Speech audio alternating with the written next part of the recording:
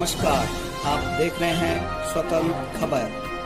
जन की आवाज़ सच्चाई के साथ। भुवनेश्वरी मंदिर सांगुड़ा में गेंद मेला, जन कल्याण समिति ने चलाया स्वच्छता अभियान, महिला मंगल दलों व ग्रामीणों ने किया प्रतिभाग रविवार को भुवनेश्वरी मंदिर परिसर सांगुड़ा में गेंद मेला, जन कल्याण समिति के आह्वान पर स्वच्छता अभियान चलाया गया। आपको बता दें कि भुवनेश्वरी मंदिर परिसर में 15 जनवरी को गेंद मेले का आयोजन किया जाना है।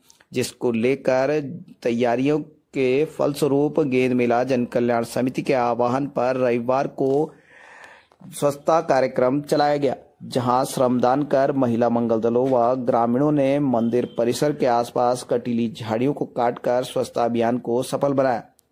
इस दौरान गेंद मेला जन कल्याण समिति के अध्यक्ष सुरेंद्र सिंह नेगी, सचिव गिरीश नैथानी, कोषाध्यक्ष प्रकाश काला व मुख्य पुजारी गणेश प्रसाद सैलवाल उपस्थित रहे अपने क्षेत्र की खबर के लिए चैनल को सब्सक्राइब करें बेल आइकन दबाएँ। सबसे पहले खबर को पाने के लिए